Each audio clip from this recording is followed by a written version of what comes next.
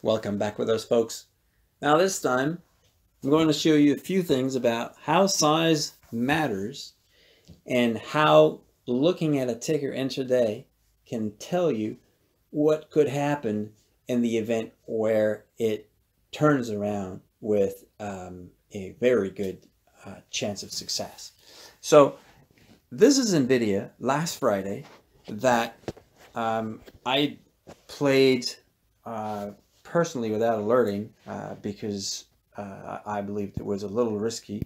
However, look at where um, it was doing a tighter move, right, like this here. And while it was doing this, trust me on this, SPY was still going down. So we talked about um, strength in a ticker. So SPY is moving to the downside and this thing is consolidating and ready for breakout. So as soon as SPY got a grip and started moving to the upside, this is exactly what happened. It started poking its nose out of that flag and it took off. So um, I was really fortunate to play the, the uh, 220 here uh, on, on this play as we got to this corner getting tight when I saw SPY moving down. It was reaching support and then it started taking off. My point is not this play. My point is when you watch this thing happen intraday, whether you played it or not, you know that I'm going to erase this so you see it. You know that here was the trigger for something to the upside. As soon as we got enough bulls in the market, the whole thing starting to the upside. So it reached a certain point, higher, lower high, lower high. So it's moving to the downside. Algos took this down at precisely two o'clock and market throughout started pulling back. Um, I believe um, the president had a press conference scheduled at that time. It didn't start at two, but it had a uh, conference at two o'clock scheduled. Algos took it down for a certain amount of time. However, look at what, sorry, here, look at what happened. Remove this, look at what happened. It came down to a line where this is where the bulls started picking up as soon as it turned around. So basically, um, here was my interest.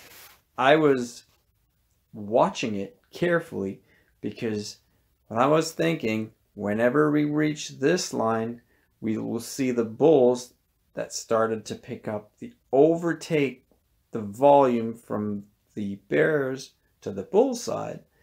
This is what happened there. So I'm watching the same line, and as soon as we reached it, this we alerted in chat. We said we're alerting small position and the 220. Why? Because I really see this line here. Yes, it's lower high, lower high, lower high. But the possibility of reaching back up to this line, which is above 220, is really high in the event where we go to the upside, right? So size matters. Am I going all in? This is Friday afternoon. It's 2.30. Very close to final expiration, which is at 4. It is very risky. We have an hour and a half and at that time, we were almost five out of money. How much did we pay for 220 calls? Um, at we paid 30 cents. So our total per contract is $30, right?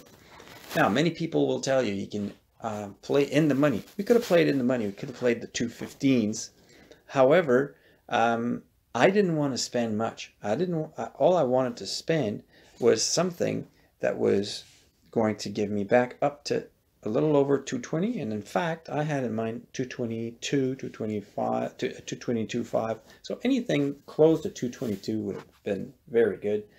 And if you know the math if you're at 222 expiration basically you'd be going two dollars. So from 30 cents to two dollars that's a pretty good investment. So let's go back to this. How many you can take? Position size matters how much are you willing to lose? I was thinking I'm okay to lose $100 on this thing. So let's say you play three, three contracts, three contracts at 30 cents. How much is that? It's 90 cents, $90 total because this is times 100, you know. So $90 for a play that will probably, I said, we're looking at a move to the upside to 222. In that particular, particular case, when we reached a certain point, I alerted the exit. Exit was at 92 cents, so $92 per contract. So I said I'm leaving one, I'm taking one out, 92 cents. So it's $92 for one contract. And we exited before the top, but I was super happy at 520 times, times the rest. So basically, whatever you had, that's 520, excuse my writing. So whatever you had taken in the first place, you were looking at $90 um, initial investment. And now you took um, 1132 total minus your 90 uh, initial investment, basically, you're looking at a final in your pocket $1,042 with an initial investment of $90. So if I had gone with a hundred contracts, uh, it would have, you know, made a pretty good end of week end of month for for many and end of year for for uh, for, for even some of us. Um, however, that's not the point. I'm not looking at spending something, throwing money out of out of the window.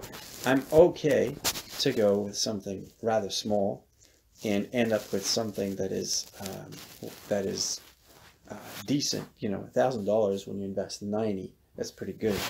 So, just to recap this whole thing, um, why what am I looking at this thing here? Uh, I believe that there was very low volume on SPY when this whole thing came down with the algos. Very low volume. Um, this was called in chat low volume on this pullback. Uh, I believe JTW was calling that.